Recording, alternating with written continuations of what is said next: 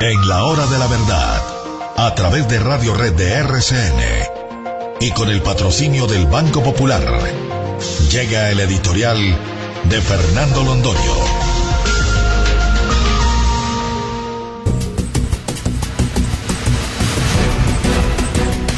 No tiene el país asunto más dramático en el cual ocuparse que el que nos está llegando no a cuentagotas, sino ya a borbollones desde La Habana. En La Habana están manejando nuestro destino. El destino de los colombianos no está en manos ni de nuestro Congreso, ni siquiera de la Presidencia de la República, o de nuestros jueces, o del poder popular, del poder del pueblo, del poder de la democracia en absoluto. Está en manos de los bandidos de las FARC, del señor de la calle, del señor Sergio Jaramillo, y con otras comparsas que tienen allá diciendo que sí a todo y que les importa una higa qué es lo que vaya a pasar con Colombia. Nos entregaron, nos entregaron definitivamente. Sumemos estos asuntos. El día domingo escribía para las dos orillas un artículo que resultó premonitorio. Se llamaba El glifosato ha muerto, viva la cocaína. El glifosato ha muerto el presidente Santos, eh, haciendo las cosas como las hace siempre, es a través de truco de jugador de póker, resolvió acabar con el glifosato, dice que porque produce cáncer, es peligrosísimo el glifosato como si no estuviera probado por mil estudios científicos que el glifosato no tiene ninguna incidencia de ese tipo, se utiliza en toda clase de faenas agrícolas, pero además la aspersión de los cultivos ilícitos se hace sobre los campos de coca. ¿Y dónde están los campos de coca? No en las ciudades colombianas, no en sus alrededores, en los sitios más apartados del país, donde no hay población colombiana. Los únicos pobladores circundantes son los micos, las culebras y los narcotraficantes. No más, son los únicos que estarían en peligro si es que hubiera alguno por la aspersión del glifosato. Pero se trataba de darle gusto a las FARC. Ya el Procurador General de la Nación, y esto no lo sabíamos nosotros, reveló que es una de las salvedades de las 28 salvedades que las FARC dejaron a los tres primeros puntos supuestamente acordados ya en La Habana. Y esa salvedad era precisamente esa, que se exigía la eliminación del glifosato como condición para firmar la paz. Es decir, las FARC quieren firme su negocio. El negocio más fabuloso que hay en Colombia. Esto vale muchos miles de millones de dólares al año. Aquí seguimos creyendo que los grupos económicos y los grandes cacaos somos los, son los que hemos conocido toda la vida y que tienen sus balances registrados y auditados y que tienen asambleas y que tienen superintendencias y la gente puede ir a las asambleas y conocer qué es lo que están haciendo el Grupo Aval o el Grupo Santo Domingo o cualquiera de los grandes grupos económicos que hay en el país. Lo que nadie sabe es cuánto tienen en recursos las FARC cuántos miles de millones de dólares se están ganando por año en el terrible, detestable, oprobioso negocio de la cocaína. Y a esos es a los que les estamos entregando el asunto. La eliminación del glifosato era un paso más, tal vez el último necesario, para acabar con toda la lucha del país contra la droga. Ya habíamos eliminado la extradición, habíamos eliminado los bombardeos, primero de derecho con decisión del presidente y luego de hecho, o han vuelto ustedes a huir de un bombardeo a un campamento de las FARC. Desde luego que no, eso está eliminado, no hay ninguna lucha contra los activos de las FARC, se acabó la lucha contra el lavado de activos y ahora con el glifosato se les completa el círculo para que hagan de la cocaína su inmenso, su gigantesco negocio, que les da un poder económico tal que acaba con todo. Porque tienen otro negocito también que hay que recordar, que es el negocio de la minería ilegal, que está destruyendo los ríos de Colombia y las selvas de Colombia, por donde circulan ahora por esos ríos, donde antes había agua, agua esperanzadora para un mundo que se muere de sed. Ahora lo que circula es mercurio. Pero ese mercurio sí no le, no le produce ningún desaliento ni ninguna preocupación al doctor Alejandro Gaviria. Él está preocupado es por el glifosato en las selvas, pero no por el mercurio en los ríos que está matando físicamente, por ejemplo, a los niños del Chocó. Los niños del Chocó no valen la pena, doctor Gaviria, ¿no es cierto? Como son negritos, y como son niños, y como son pobres, y como también están perseguidos por el cura Giraldo, a usted no le inquietan. Usted los deja morir. Eso no tiene ninguna importancia.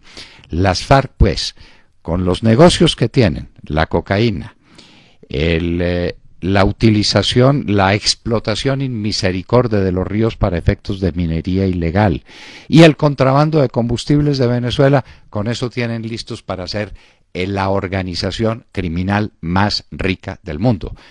Una publicación internacional las dio como la tercera más rica del mundo, está equivocada, es la más rica del mundo. Pero eso no es lo único que nos está ocurriendo. Es que eh, ya ayer el noticiero RCN de Claudia Gurizati, que está haciendo periodismo de verdad, el periodismo que uno quiere ver en la televisión lo está haciendo Claudia Gurizati en RCN. Hizo un reporte sobre lo que es la invasión de tierras. Señores, la invasión de tierras ya comenzó y en grande.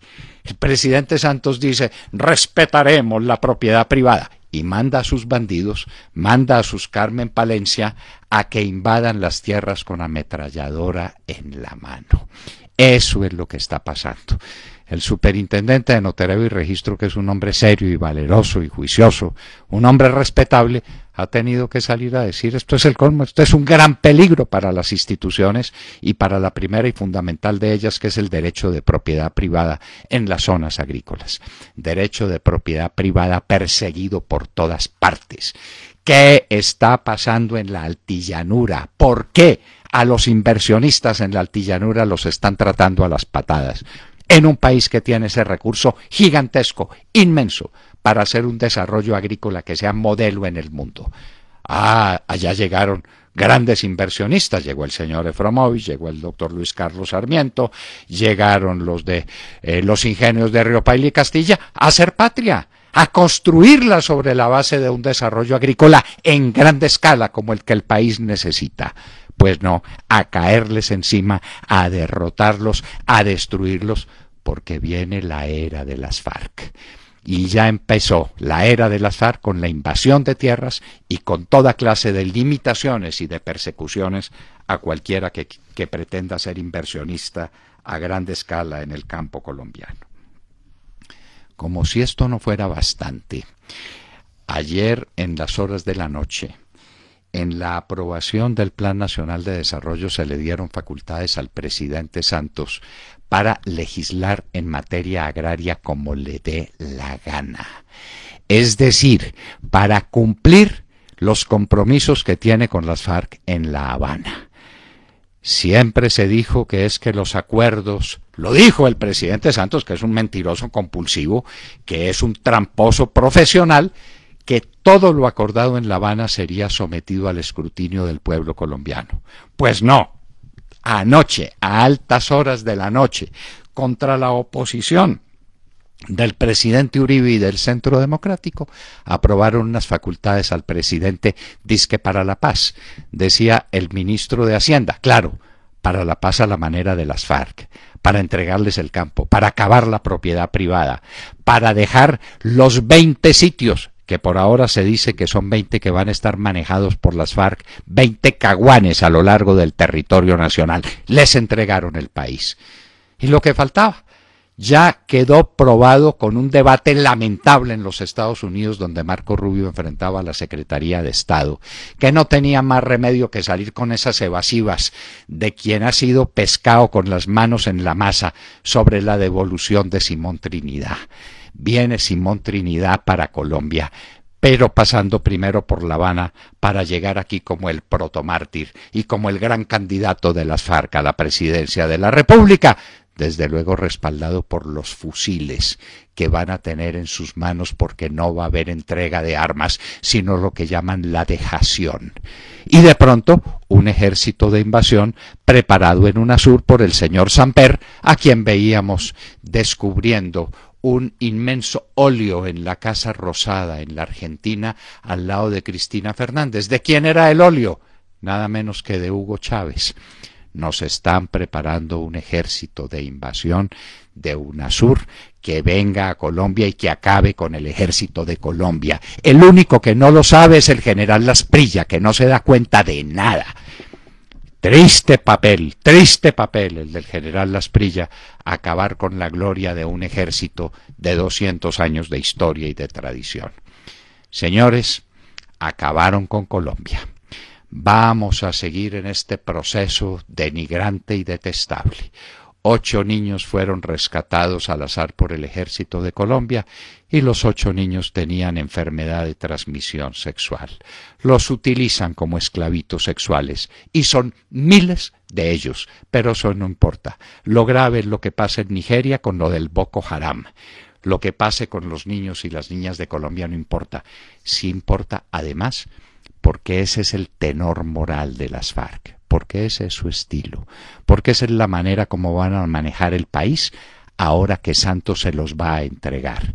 Colombianos, hay una última oportunidad. Estas elecciones de octubre tienen que ser unas elecciones de castigo como nunca se le han dado a un gobierno entreguista y hay una esperanza con el centro democrático que levanta las banderas de la recuperación moral de la República, de la salvación de este país que se lo entregaron en manos de las FARC, como aquí quedó ampliamente demostrado.